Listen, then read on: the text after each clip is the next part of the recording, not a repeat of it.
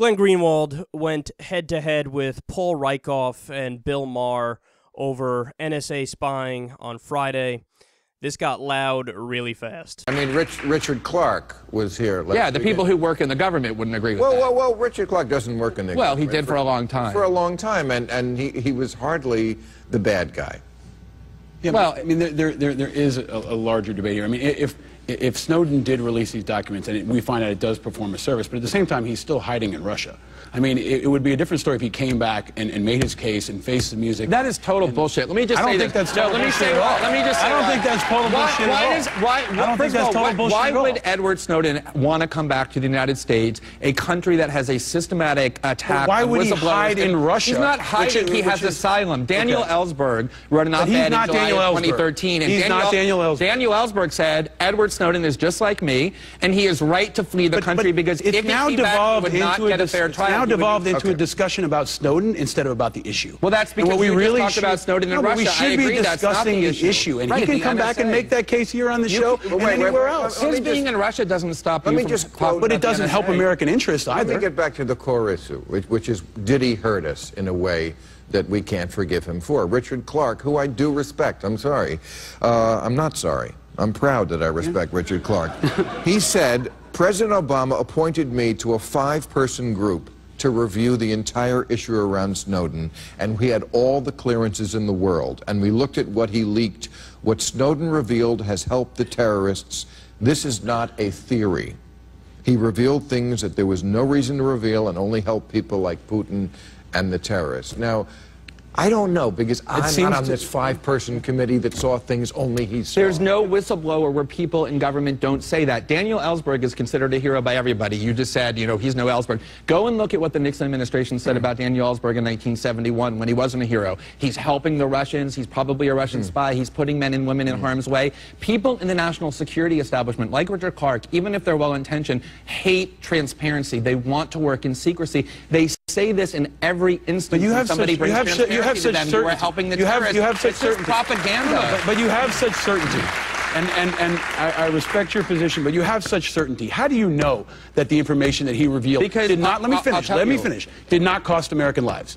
How do you know that? Where- What American lives? Is there a single Well, piece of Richard evidence? Clarke and others are apparently looking at That- the information that's- and are objective from the same making the script that they always read from. What Edward It- Snowden did is he it can't came, be he, didn't, he didn't release a single document. He came to two of the most well-regarded newspapers in the world, and he said, "I am giving you this material, and I want you very carefully to vet it, and only release that which is necessary to inform my fellow citizens about what their government is doing." We've had tens of thousands of documents for over a year, and a tiny percentage of those has been released at his insistence. The real criticism comes from people like WikiLeaks that says you haven't released enough. I have respect for that criticism. The criticism that we've released too much and there's all kinds of dead Americans all But you around. This is just the- propaganda. I don't think it's necessarily propaganda. I mean, you haven't answered Where are the question. dead Americans? Do you, Who do you are know, they? Do you what, know what are their a fact that there aren't? What, I mean, what are they? Who, you're making you know, the allegation. No, no, I'm these telling you that you're, you are so Whoa, whoa, you are so okay. certain. First you are of all, if- certain. if and they I wouldn't I wouldn't I wouldn't be that aggressive in my certainty. And I think we're going to see how it plays out. There there is an important role. want let me to And if they- and if- finish. you should there's an, say who they there's an are and where they important role for whistleblowers in our society, okay? and I will defend whistleblowers. Whistleblowers broke the VA scandal in Phoenix. If not for whistleblowers, we would not know how bad the Abu problem- or the lying and about there is an, there's an But, but you, I mean, there's an important on. role for you, you said what are their names? But they have responsibility too. If they were in the CIA, we wouldn't know Exactly. their names. That's I mean, why that's they put obvious. a star on the wall there. They're not going to issue a press release. Oh, I mean, never knew who so they we're were just to supposed begin- to take the, No, no, no. the government's But word. are we supposed to Oh, take your word? everybody- Are we supposed to take your word? Our, okay, our all right. dad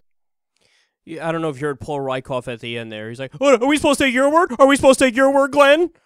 No, you don't have to take his word for it because we actually have the facts. So the NSA is spying on over 300 million Americans and their emails, text messages, phone calls, internet searches, and they're doing it all with a single warrant. Okay? The NSA spied on Angry Birds. They didn't deny spying on Congress. They spied on World of Warcraft and Xbox Live. They spied on porn habits to discredit radicalizers, as they put it. They spied on the Pope and the Vatican. They spied on the Prime Minister of Germany's personal cell phone. They mimic Google to monitor web users. Okay, they spied on NSA workers spied on their love interests.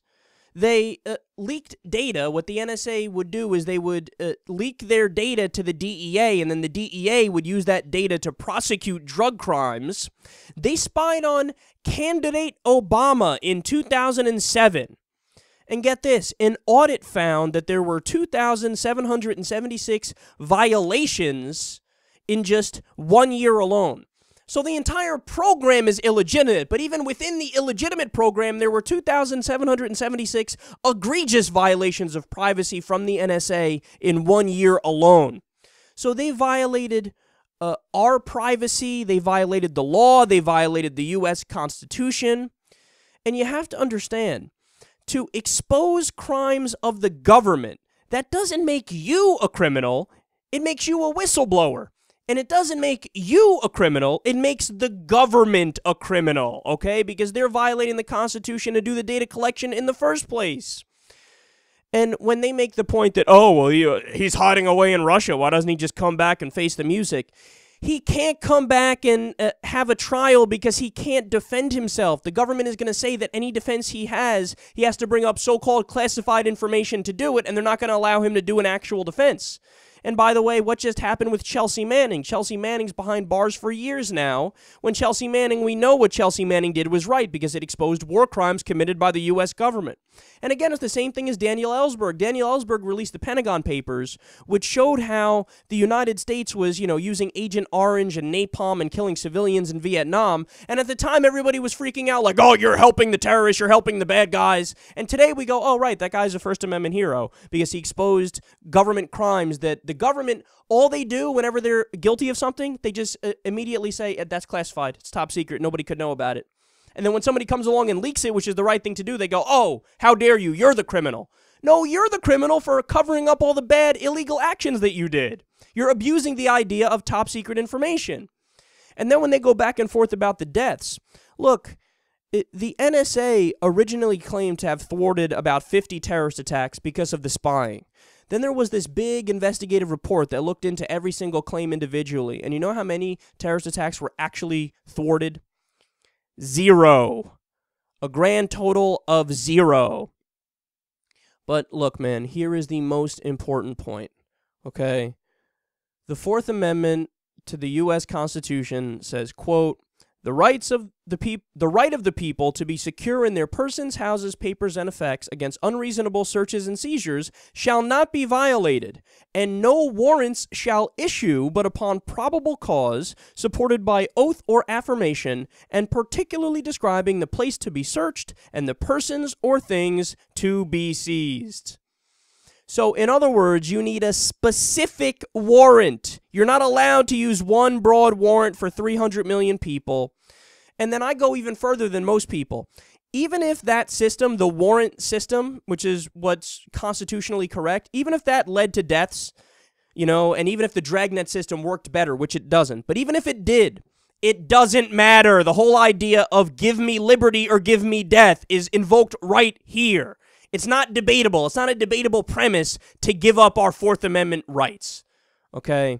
So look, man, I have a lot of respect for Bill Maher. Paul Rieckhoff has done some great things, but uh, those were horrendous arguments they used against Greenwald and against uh, Snowden's leaks and against the NSA information that we learned because of Snowden and because of Greenwald.